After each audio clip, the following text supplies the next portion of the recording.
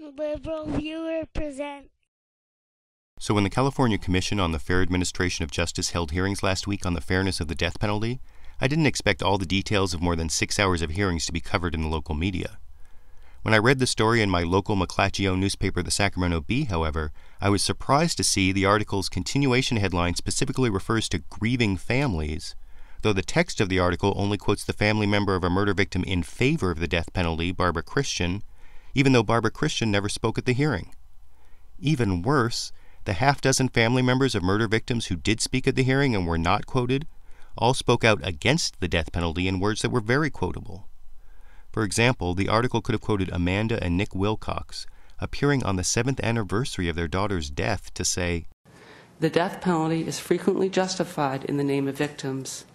We know that our Laura would not want this broken, expensive, and violent practice sought in her name,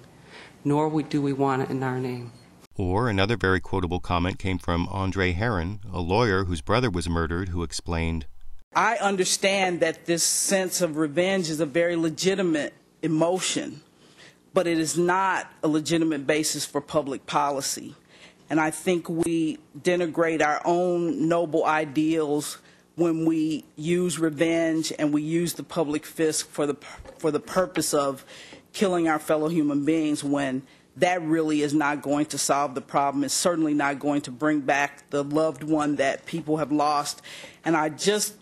am amazed that we're still having this conversation in the 21st century, that we just haven't gotten smarter about really addressing the causes of crime instead of trying to uh, treat the symptoms. And that's really what the death penalty represents to me. Or for another mother against the death penalty, the article could have quoted Lorraine Taylor, who, after having her twin sons murdered, still had the empathy to testify. My twin sons would not want any mother to feel the pain that their mother felt. Or, for one last example, the article could have particularly broken down the cliche that victims' families want the harshest penalties by quoting Judy Kerr, who responded to her brother's murder with this anti death penalty but still tough on crime approach. My brother's killer hasn't been apprehended yet, and when I hear that cold case units like the one in Santa Clara County are being closed down for lack of funds, or when I hear that it takes eight months to run forensic evidence in crime labs in Los Angeles County and that there aren't even any forensic labs in some counties,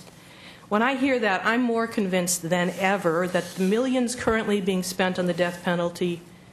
need to be spent somewhere else. They need to be spent on services that get killers off the street and make us safe. Now, any of these family members of murder victims could have provided a newsworthy quote, and every single one of them testified at the hearing against the death penalty, which leads me to ask Was it fair for the Sacramento Bee article about this hearing to quote a murder victim's mother in favor of the death penalty who did not even attend the hearing, while ignoring all the murder victims' family members who did attend the hearing and testified against the death penalty? And on the bigger question,